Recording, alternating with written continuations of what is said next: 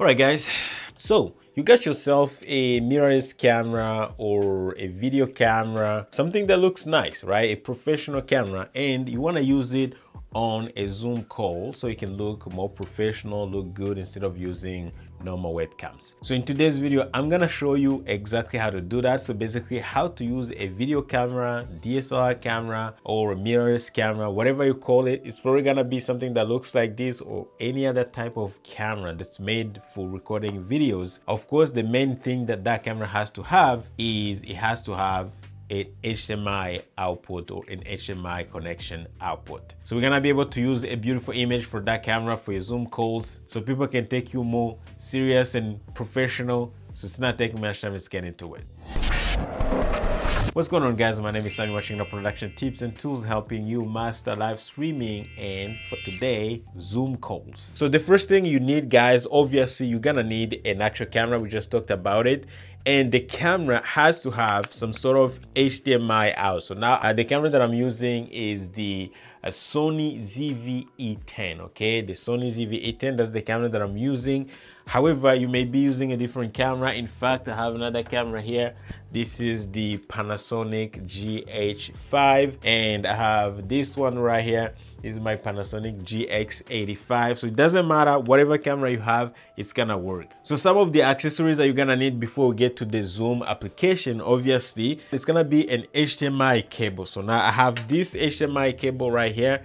This is a little, I would say this is a fancy one, okay? You can get any HDMI camera from Amazon. This is just a special one that I got for myself.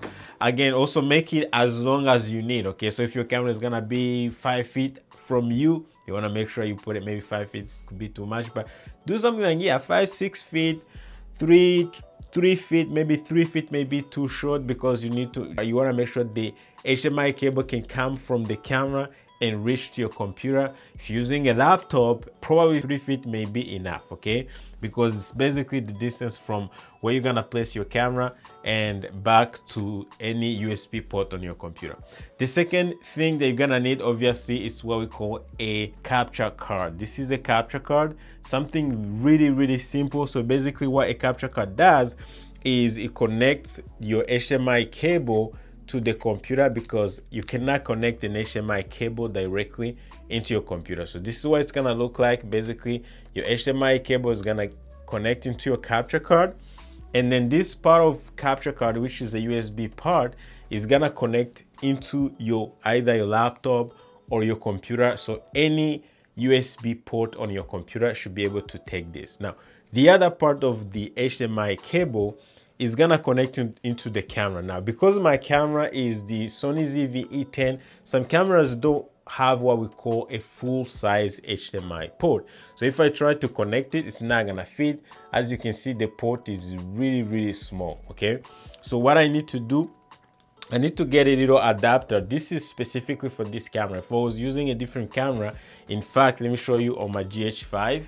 My GH5 has a full-size HDMI port, which means if I connect my GH5, I won't need to use an adapter. I can connect directly into it. And as you can see, it's gonna work, all right?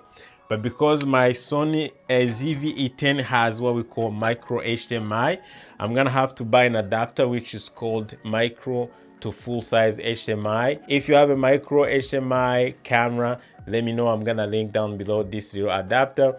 So basically connect your HDMI cable into the macro kind of HDMI adapter, right? And then this end right here, the micro HDMI port, this is what we're gonna connect into the Sony ZV-E10. So there's a little port that says HDMI. That's where you're gonna connect it. Boom, just like so. So now our camera is ready to be connected, okay? Now, the next thing that you're gonna need, obviously, depending on how you wanna do it, you're gonna need some sort of mounting. There's so many mounting options. It could be a tripod, it could be a monopod, it could be a light stand, it could be something that you can actually clamp on your desk like the one that I have from Ulanzi. Again, I can link it down below if you are interested. I can give you some options, guys.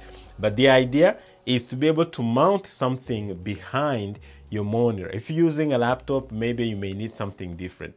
But for me, this is what I got, guys. It's mainly something that I can use to mount on my desk and I can actually put the camera on the top of it. So if, I can show you little quick what it will look like. So I can just mount like this. All right. So now I can actually put this thing behind the desk and it's gonna be facing. So let's go ahead and do it and I'm gonna show you what it's gonna look like and we're gonna open the Zoom application and show you how to add the whole thing. Now my setup looks a little different guys. This is a content creation setup. Uh, yours may probably look like something like that, we should maybe just one monitor and just one computer. But I'm gonna show you on this setup, of course, what it will look like.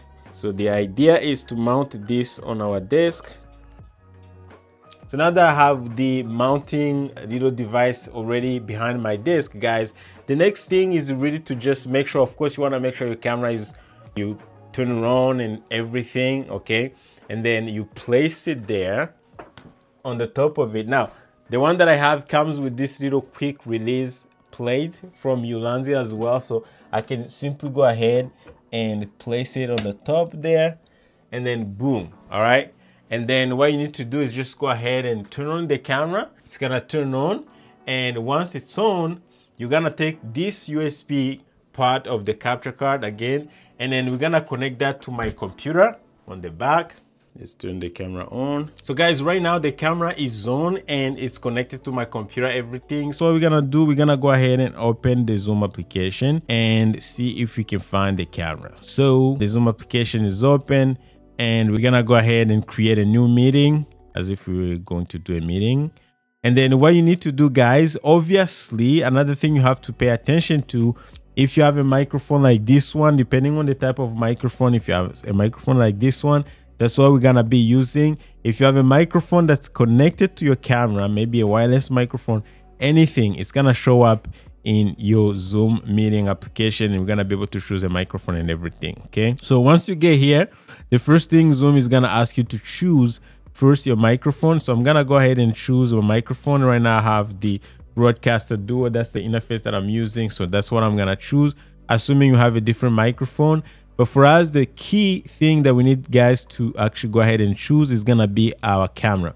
So I'm gonna go here and then I'm gonna choose my camera which is gonna be because I use a capture card. It's and the capture card that I use is called USB video. It's gonna show up as a USB video, okay? And you can also go ahead and actually click to that, the video icon, and make sure it's actually turned on, okay? And then as you can see, we have a picture coming from the camera. So if I do this, as you can see, the camera is looking good. It's better than any webcam. And then I can click start and boom. Now, when people join Zoom, they're gonna be able to see me with a really good looking image uh, for my Zoom calls. You can see because my camera can give you what we call a blurry background. You can see that my background is kind of blurry, which is really, really awesome and I'm looking really good compared to using something like a built-in webcam. So guys, what I'm gonna do, I'm gonna make sure I leave all the accessories that I think you may need, but if you have a specific accessory that you need to actually make sure your setup works well, let me know down below in the comment section. But other than that, guys, this is just for doing Zoom calls. If you're interested in live streaming, let's say you wanna take this image that looks really good and you want to live stream it to YouTube or Facebook, right? You can actually do that by using a different application. Zoom does live stream, but live streaming from Zoom is not perfect. The best software to do that is actually called OBS, which is 100% free. And in my next video that I'm going to link right here, I'm going to show you how to live stream using a DSLR camera and a free software called OBS and be able to go live to YouTube. And that video is going to be linked right here. So make sure you check it out, guys and I'll see you there. Take care.